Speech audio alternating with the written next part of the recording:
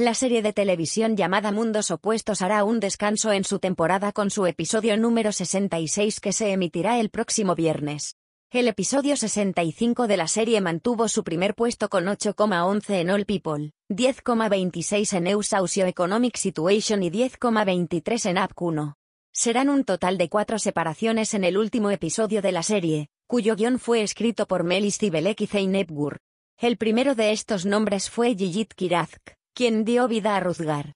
Resultó que el segundo nombre era Umut Serkant de la serie. Se afirmó que el actor, quien era amado tanto por sus colegas como por la productora, y escritores de la serie por su exitosa actuación y personalidad caballerosa, se despidió de la serie porque su historia en el guion terminó.